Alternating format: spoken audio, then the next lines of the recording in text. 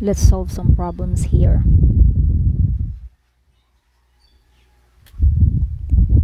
If 8n plus 25 equals 65, then n is.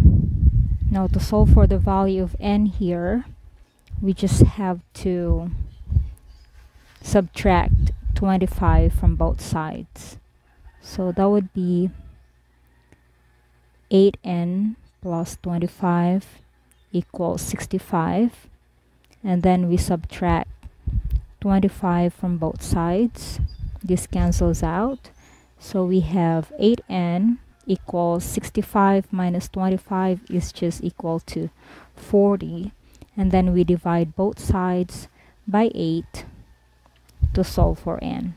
And then n is just equal to 40 over 8 and 40 divided by 8 is just equal to 5. So the value of n is equal to 5.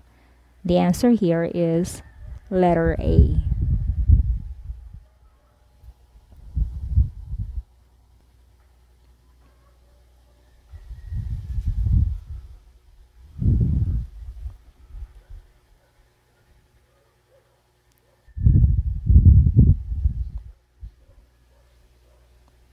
one fourth is equal to.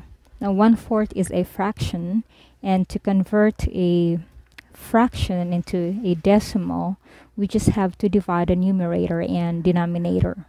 So in this case one fourth is very easy like almost everyone know that one fourth is equivalent to 0 0.25.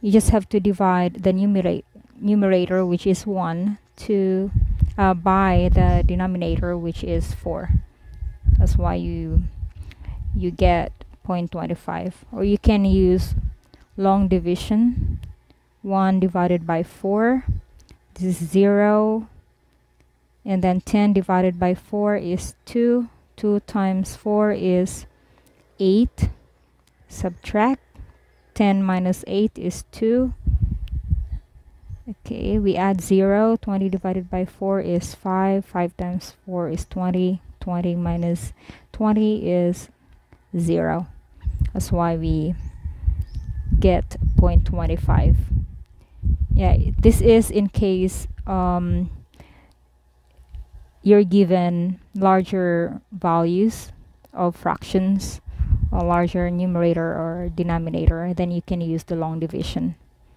if you don't know the exact value of the fraction. So the answer here is letter B.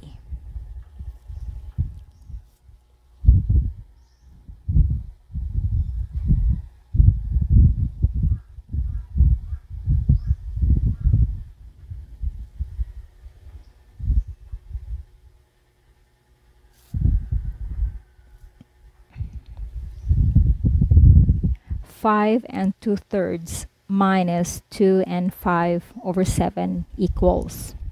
Now to solve this, to find the difference of these two mixed fractions, we can write each of the fractions as improper fraction.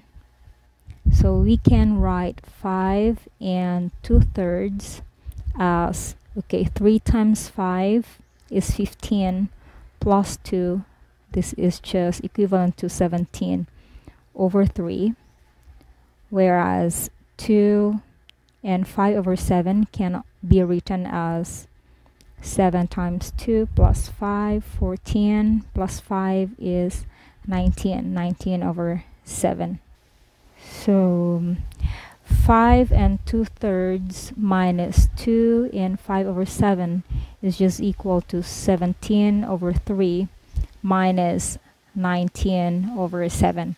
Now, how are we going to subtract these two improper fractions here? We just have to get the LCD, the least common denominator. So we look for the smallest number that can be divided to both 7 and 3.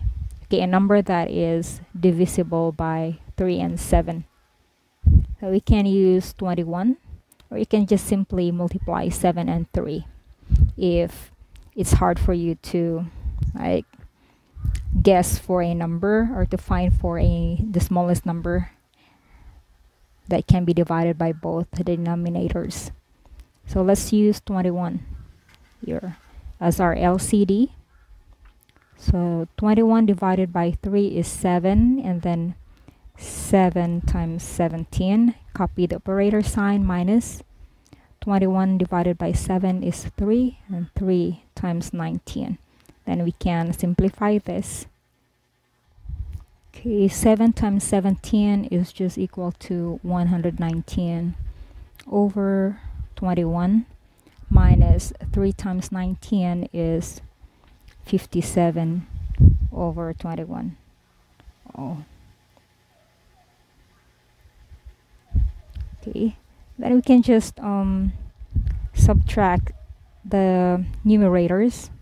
119 minus 57 is just equal to 62 over 21 but we don't have 62 over 21 here in our choices um, the given choices here from A to D are all mixed fractions so we need to write our answer 62 over 21 into a mixed fraction. So we divide 62 by 21 so there are two 21 in 62 so this would be 2 and 20 over 21 so our remainder is 20 so this is our answer. The answer here is letter C you can divide um, 62 by 21 by using the long division. 62 divided by 21 um, is 2 2 times 21 is 42 then minus. So we have 62 minus 42 is 20 so remainder is 20 so the answer is 2 and 20 over 21